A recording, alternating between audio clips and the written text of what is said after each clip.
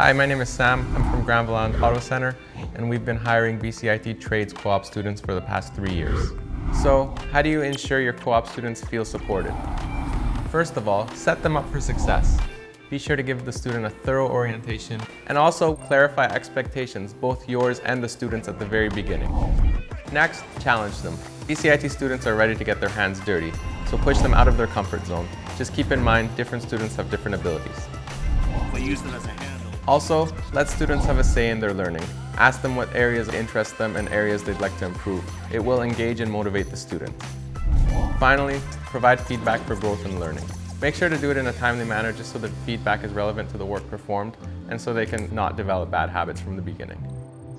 Next, what advice would I give a trades co-op employer?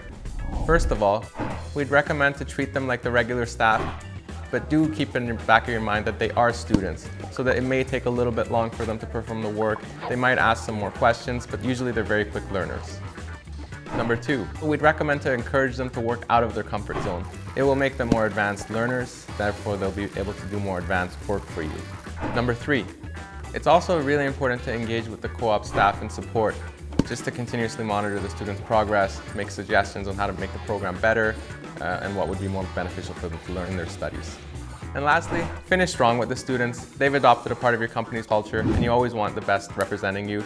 You may choose to hire them in the future for future co-op positions or even full-time. Thanks for listening and all the best.